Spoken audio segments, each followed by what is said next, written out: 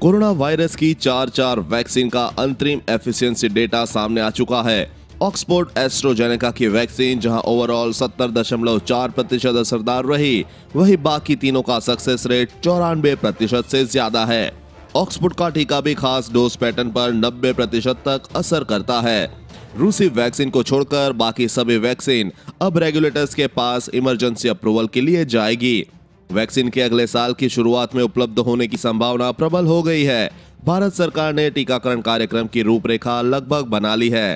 प्राथमिकता के आधार पर टीका किन्हें और कैसे दिया जाए, इसका पूरा खाका खींचा जा रहा है। एसएमएस भेजेगी सरकार। वैक्सीन लगने का सर्टिफिकेट भी मिलेगा। भारत में प्राथमिकता के आधार पर सबसे पहले हेल्थ वर्कर्स, फ्रंटलाइन वर्कर्स और सीनियर सिटीजन को वैक्सीन देने की तैयारी है। इस हाई प्रायोरिटी ग्रुप में जो भी लोग शामिल होंगे, उन्हें एसएमएस के ज़रिए टीकाकरण की तारीख, समय और जगह बता दी जाएगी। मैसेज में टीका देने वाली संस्था हेल्थ वर्कर का नाम भी होगा। पहली डोज दिए जाने के बाद दूसरी डोज के लिए एसएमएस भेजा जाएगा। जब टीकाकरण पूरा हो जाएगा तो डिजिटल क्यूआर आधारित एक सर्टिफिकेट भी जनरेट होगा तो वैक्सीन लगने का सबूत होगा।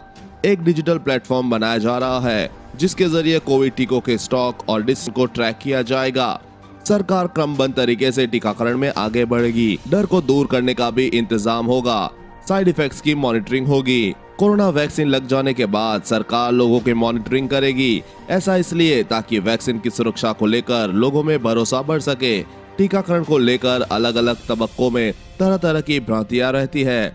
इसलिए सरकार पहले से ही राज्य और केंद्र शासित प्रदेशों को इस दिशा में जागरूकता अभियान चलाने के लिए कह चुके हैं। इसके अलावा वैक्सीन के किसी प्रतिकूल प्रभाव से निपटने के लिए भी तैयार रहने को कहा गया है।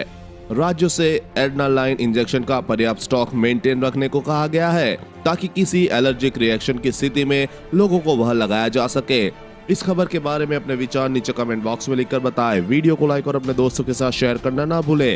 साथ ही कोरोना वायरस वैक्सीन से जुड़ी हर खबर सबसे पहले पाने के लिए चैनल को सब्सक्राइब कर ले।